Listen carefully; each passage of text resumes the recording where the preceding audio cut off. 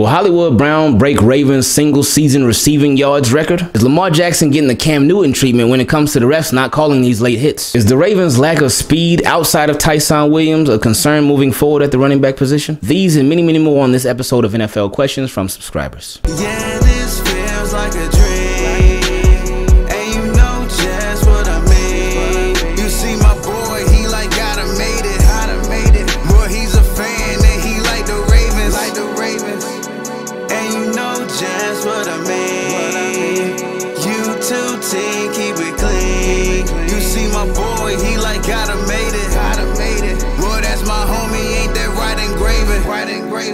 YouTube team, keep it clean. What's going on? It's Ingraven here with another video and another episode of NFL Questions from Subs, a series where you can ask me any NFL question you want to based off of any NFL team, and we answer it in a video just like this. If you want to be part of it, you can send me an email to teamkeepitclean at gmail.com, or for the patrons, you can send it directly on Patreon.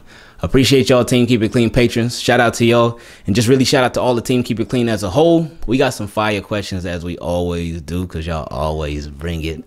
Let's do it. First question came from my guy Howard S. He said, What's happening Ingraven? I was just thinking that since EDC took over as GM, he implemented a very strong analytics system into the Raven system. And I have no problem with the analytics when it comes to crunching the numbers uh, and statistics and things of that nature. But I'm not a fan of analytics being the call of in of football game decisions. Football decisions should be made from the feeling of the pulse of the team, understanding the momentum of the game and having a strong feel for the situations of the game. I believe EDC got Harbaugh and his staff a little too gassed up in the analytics and that causes them to make unnecessary decisions at times. It's just my opinion. I'm curious to know what your thoughts on this topic are. Hashtag Ravens Nation. And yes, analytics have certainly taken over the game of football, and you see them. Uh, some teams use them more than others, but definitely the Ravens, they love their analytics. And it's, I feel like it can be a gift and a curse. Because I feel like with analytics, yeah, it shows you numbers and percentages and probabilities and this and that.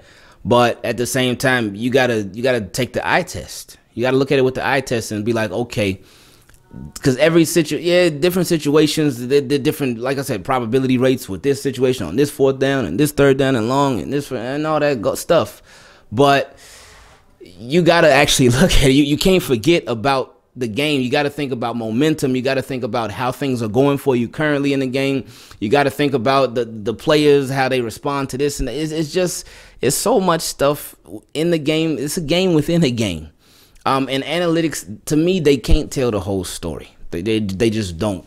So you got to make football decisions based off of football itself and not just the numbers. Next question came from my guy Mayor Dabo. He said, "Do you think Hollywood Brown will break the franchise single season receiving record?" Uh, the record is 1,201 yards, originally set by Michael Jackson. Hee hee, back in 1996. Hmm. Well, um, he certainly could. Uh, I think he's on pace too. But see the thing, um, if he does, let's see how he does it and how long it takes him to do it. Because one of the reasons I say he definitely could, um, and this is not just because I'm a big Hollywood fan and nothing like that, but it's 17 games. It's 17 games this year, so that's an, a whole extra game to get a bunch of yards. So really, with um, with a lot of these a lot of these records in NFL are going to be broken a lot of them are going to be demolished because of the extra game. And then soon enough, it's going to end up being 18 games. So, and then a, a bunch of these 16 and 17 uh, scheduled games, those records are going to be broken too. So, it's bound to happen. Uh, whether Hollywood does it this year, that would be great because that would mean that he's catching a lot of passes and getting a lot of yards. So, we wouldn't complain if he does. Next question came from my boy Flirt Nowinski. He said, Has everything on your side? Oh, everything is good. He said, What's up with them making Ty'Son a healthy scratch? I mean, Bell was okay, good blocks in the passing game, that's cool. But I'm not gonna lie, I still would have liked to see him playing aside from fantasy purposes, lol, and have Bell, Murray, and Freeman spell. Well, no, you can't have all the running backs active. I, I expected it to be uh, Le'Veon Bell and um, Latavius Murray and that's it. Or and Ty'Son Williams, but not Freeman. But the fact that when they deactivated uh, Ty'Son Williams, like you you dropped your most explosive runner. So anyway, we'll see how what happens against the Colts. He said, which leads me into my second question. I know I'm jumping ahead, but after our Super Bowl run and Ty'Son and them light up the NFL, what are we going to do next year when Gus and J.K. come back? We are back to 2021. What are your thoughts on that? I think they're going to get Ty'Son stock through the roof and then flip him. They could do that, but I don't think they would. Stay ready so you ain't gotta get ready. If you flip Ty'Son Williams, you let him go. What happens? That because you you got two running backs both coming back from ACL injuries. Now the ACL injuries both happened before the season, so that will have given them plenty of time uh, to recover and get right. But you don't know how their bodies are going to respond to those injuries yet. So you can't just be like, all right, we got both of them back. All right, Ty'Son, you out. We, we, we trading you for this and that. And not saying that it couldn't happen, but you would much rather keep a Ty'Son Williams and maybe even keep a Le'Veon Bell, depending depending on how the season goes. It's, it's, it's still super early, but depending on how the season goes. But you you you don't want to just fully rely on Gus and J.K., especially with both of them coming back from ACL injuries. Uh, so it's important that the Ravens are really smart with that. Uh, he says, same with wide receiver. Insert eyes emoji. LOL. Literally everybody is producing, and is Boykin and Bateman can if they can just be solid at the least. Man, we are in the same problem, which is crazy because this speaks to Giro in them.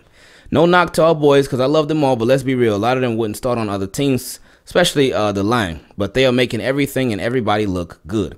Might be a reach, but it's a guy in New England that gets caught in a scandal every other year. LOL. But drafts for situations and uses each player in different ways to be productive. They are never the best, but in their system, they are the best.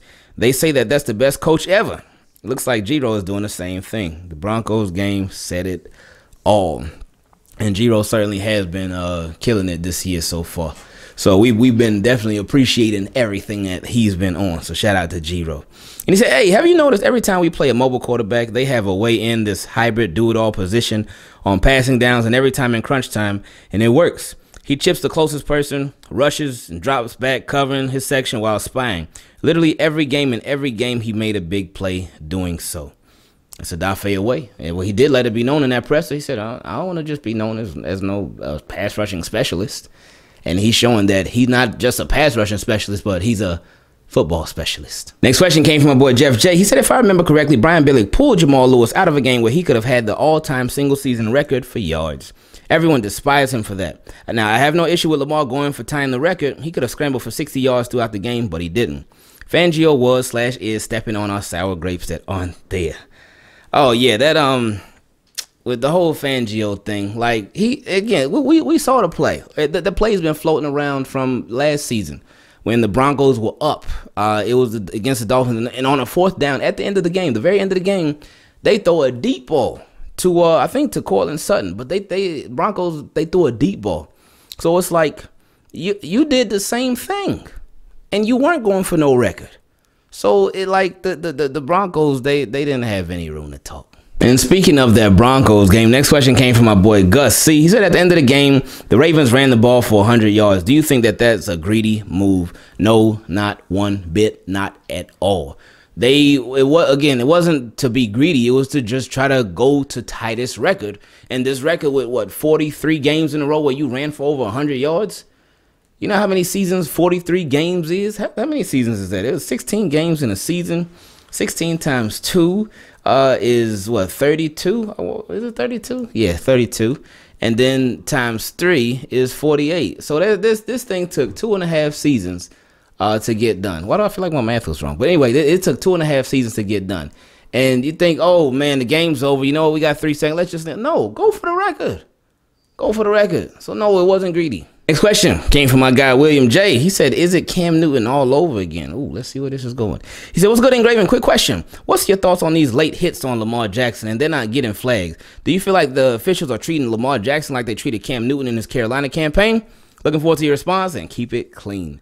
Oh yes, I wish the Broncos would have kept them hits clean. And yes, that um, it does seem like that because it it happens a lot of times. It's, it's weird because quarterbacks that are really good runners the NFL treats them like they're running backs in the backfield and doesn't protect them. And it could be a way of the NFL being like, hey, you want to be a good runner like that? Okay, you're going to pay for it. You're going to get hit. Because they like, we, yeah, thank you for bringing that up because the same thing happened with Cam Newton. Same thing. Same exact, like, man, like they, he wasn't getting nothing called for him. So it it, it just is frustrating to see it because obviously Lamar's a quarterback and the NFL they usually, they usually protect their quarterbacks. And I mean, you would think Lamar Lamar's big money. He's big money. He be, be bringing you in a lot of revenue, NFL. So you would definitely want to protect him like you protect all these other guys. But they don't. They don't. And it, it, it's it's so clear too that they don't, especially in that Broncos. Like we all saw it. I didn't see it live, but when I saw the replay, I was like, "What?" I couldn't believe that, and it happened multiple times. And guys were, were intentionally trying to hurt Lamar. I'm like, "Wow, that's how y'all get down Broncos." and y'all y'all talking about uh, safety for the Ravens in secondary. I think y'all need to take a look at the replay. And the last question on this episode a question from subscribers came from my boy Ricky B. He said, What's up, Ingraven? What's up, Ricky? He said, I have a point to bring up about our running back situation. I noticed that we lack speed and burst at the running back position. Well, they certainly lacked that when they had Ty'Son Williams inactive because he brings that speed and burst. But let's continue. He said, uh, with JK and Gus, we had lightning and thunder. None of these backs, except for Williams, okay, he put that in there. None of these backs, except for Williams, is able to burst to the edge. That's true. Do you think this is a concern moving forward? Yes, if they continue to have Williams in the doghouse, it, it would be. It certainly would be because yeah, to the to the edge, to the outside, these running backs ain't got it. So anyway, um, secondly, secondly, I think Mekari has been holding it down at right tackle. Yes, yes, yes, yes, yes. Um, he said we just need Ronnie back. I have faith that we will figure out the left tackle situation for this season, but right now it's low key a yikes. Hopefully Villanueva's injury wasn't anything too serious. They said it wasn't, but by the time you see this video, because I'm recording this on Thursday, uh, it's 10:28 a.m. So they haven't practiced today yet, um, and they haven't publicly practiced this week yet. So today will be the first day of their public practice. So we'll, by the time you see this video, we'll know the status of Villanueva. But Harbaugh did say it wasn't anything serious. Like he really made it sound like it wasn't anything serious. So hopefully that's true. Um, but we'll you, you'll know by the time you see this. Anyway, he said, uh, when Lamar has time, he is deadly in whatever he chooses to do. Yes, that's true. That's why I, I really wish this offensive line could get it together. The whole offensive line. You know, bits and pieces got it together, like Bozeman and Mekari. They've been doing their thing, but other, I just, I wish the whole offensive line could get it together. So, because like, like you just said, when Lamar has time, he is deadly in whatever he chooses to do, and that is so true. Oh man. Anyway, he said. Lastly, I noticed that Lamar uh, is talking to linemen and receivers, maybe hot routes or audibles pre-snap. These resulted in chain moving plays. Do you think Lamar is starting to get a more command of the offensive play calling? Thanks for all that you do. Peace. Uh, he certainly, he certainly should be. I mean, you you getting ready soon enough. You getting ready to be the highest paid quarterback in the league soon. Well, and if not the highest, then second highest. But so yeah, you you you definitely uh should be and would be expected to be having more control of the offense. So uh, if he's doing all that pre-snap, talking to receivers, and you know he'd be moving people around, putting people in motion and whatnot, getting people lined up. If, if somebody don't know where they're supposed to go, Lamar be like, no, no, no, no, go over here. So that's expected because Lamar, as a quarterback, not every quarterback is a leader. So let's clear that up. Because just because you are the quarterback of the team, it does not make you the leader. Because you could be a backup, you could be just being in for a little bit. You could be only there because somebody got hurt and you're not expected to be the long term answer. But Lamar Jackson is certainly a leader. Certainly the leader of the Ravens, certainly the leader of this team. And yeah, this is this is his squad.